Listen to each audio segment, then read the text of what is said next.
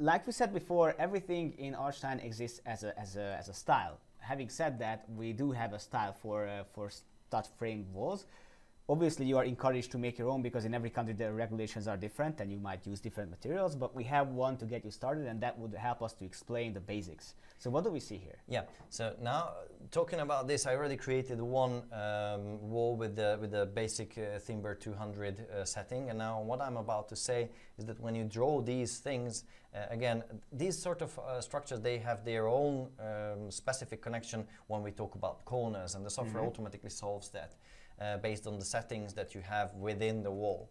Now, to be able to talk about the details inside this uh, structure, let me show you one more thing. I will add a window. The same thing would happen if I add the, add the door. See, now I can have a window that is falling into the frame system. Yes. That is so usually essential studs. most of the time, but sometimes you cannot do that and the software will also automatically solve that. So let's say this window must fall here when it intersects everything and it's cut, cutting through all the studs and things like that. In that case, the software will auto solve this situation, not only in the 2D level, but also in the 3D. Let's just go here and see and say what we talk about. If I select it, I already see the close of the structure within.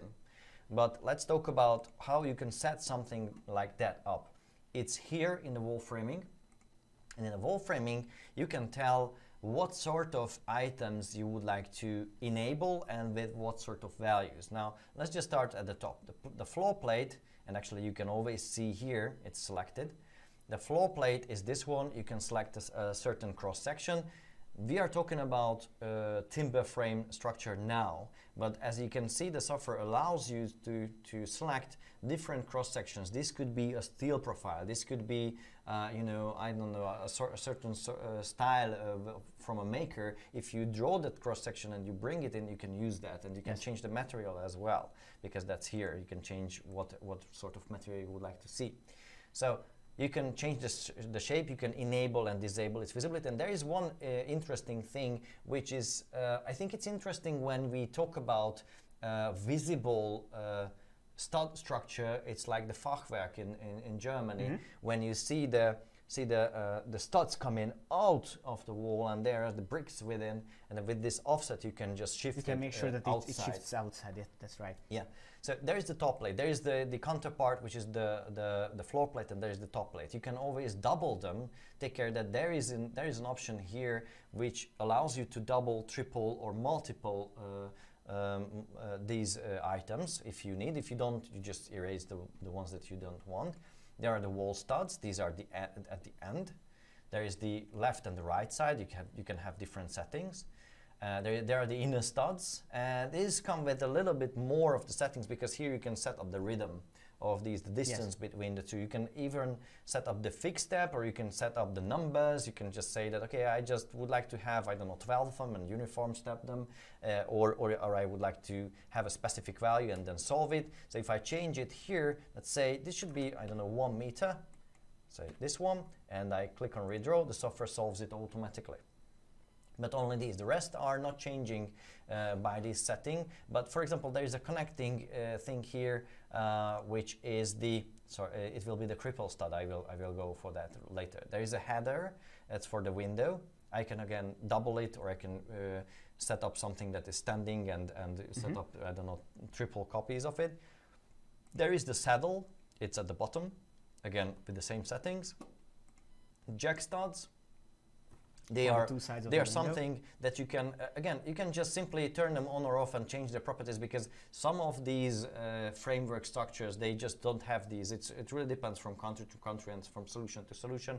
You can always enable and disable them. But if, if it's there uh, you use it. If it's not then you just disable it. And as, as you can see it automatically uh, makes the changes for the connecting structure so now if I would like to have a jack stud, I, I just use it and I change the properties. If I have a king stud, which is in this case this one here, I can um, set, it, set it up and uh, set up a different cross section if it's stronger or something like that. And there's this cripple stud uh, here, uh, which is at the bottom and the top of this uh, window, which is kind of a supportive or, or, strengthening structure. If I don't want that, I can completely, again, turn it off. But if I want that, I can change the numbers or the distance and I can say, okay, I should uh, only have a little bit few uh, fewer than this here, Mhm. and I would like to center the spacing, uh, sorry, uh, the, the, the, the spacing instead of the item, and in that case, this is what happens. That's right.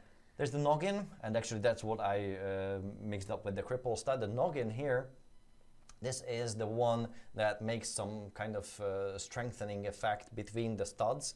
And this is, uh, by default, they are altering each other, so they're, they're not, not in level, they're altering each other, but you can change that. And then, of course, you can set up the, their height uh, within the structure. So if it's, uh, I don't know, at 1.5, I can click on redraw, and now this is what happens here. Perfect. One, uh, one thing to show us when, you, when you're done with, with showing this part is that uh, this is actually part of a, of a multi-layered wall, right? Yeah. So if you, if you could go- go back to the, to the layer selector and show where actually this layer is. But well, the reason why it's it's within the within the uh, the layer with the um, the insulation, Insulation. is that this is the layer in the compound wall settings with this indicator here. It's not because of that's the, that's the core layer. The core layer and this indicator can be two different things. Uh, this indicator is here. This is how you can set up. This the, that's the so-called displayed layer. That's kind of the main layer of this uh, uh, setting. If I click here and I set it up as the display layer, see, I it's see. not automatically becoming the core layer. That's a Mhm. different thing. If I say that this is the displayed layer, then then the structure automatically moves to that Jumps part. to the next It's, position, it's right. automatically sent uh, to that part. I see. So it's actually this is one way to automatically shift uh, the structure outside, but uh, usually, of course, we, we put it in, in a proper layer which with the same thickness, so it's automatically uh, appearing right.